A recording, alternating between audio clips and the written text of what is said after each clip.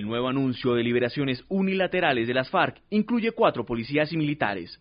Wilson Rojas Medina, subintendente de la policía, secuestrado el 10 de julio de 1999 en Puerto Rico Meta.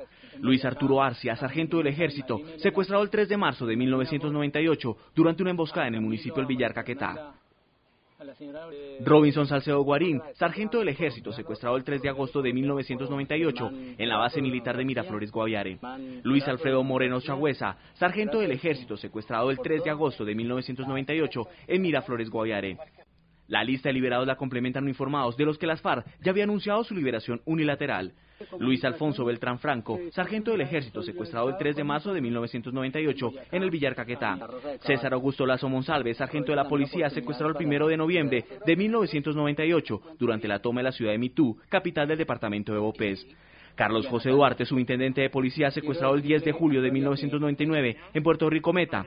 Jorge Trujillo Solarte, intendente de la policía, secuestrado el 10 de julio de 1999 en Puerto Rico Meta.